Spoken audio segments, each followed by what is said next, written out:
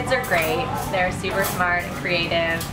Everything they do in the future is going to be a lot easier because they've gotten some great, great practice, great experience here.